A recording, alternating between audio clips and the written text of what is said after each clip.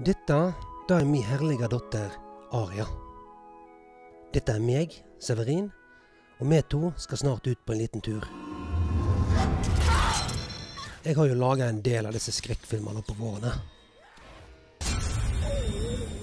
Men alt starta for 20-25 år tilbake igjen, når en liten gjeng fra Hordaland kalte seg for Vågen Pictures. Og vi lagde film hele tida. Bli med meg og Aria ut på tur, der vi besøker disse plassene hvor vi filmer all galskapen i gamle dager. Og ja, det blir en del sterke scener her.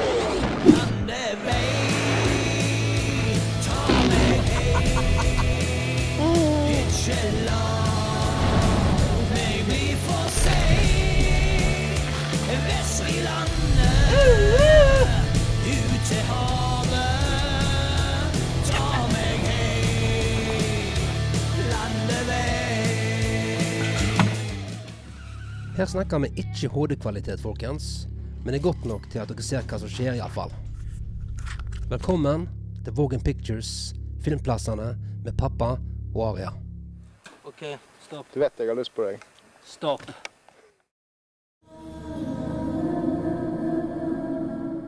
Hei.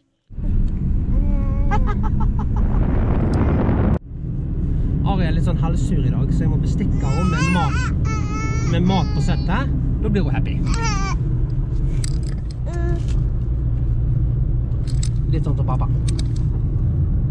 Er med på vei innover i Trodlehaugen. Her har vi brukt mye av barndomstida vår.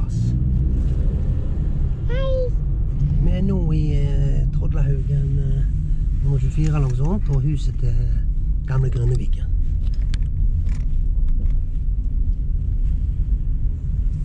Dette er en scene fra Slakt 1. Det er det første drapet i Slakt 1.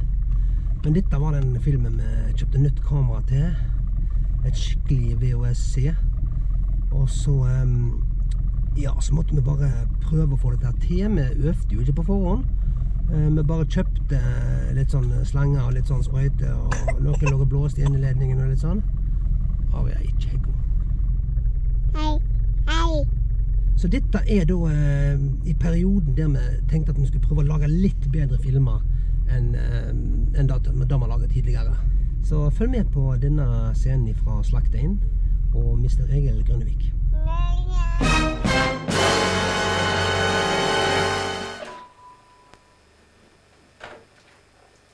Hallo? Hallo?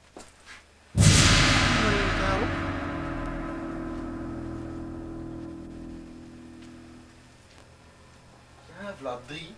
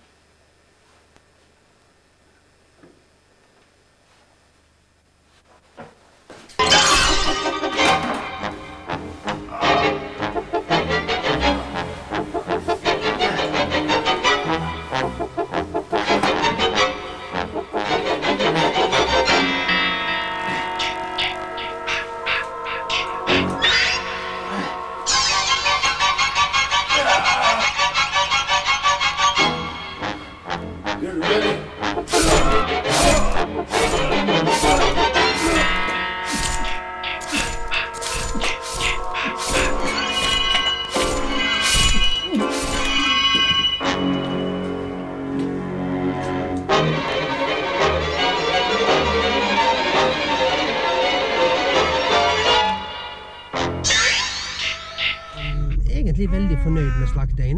Eh, Vi lagde jo også Slakt 2, så dere skal få se mer av litt senere. Huma, Hun må hjem og legge seg. Vi snakkes neste gang. Party's over.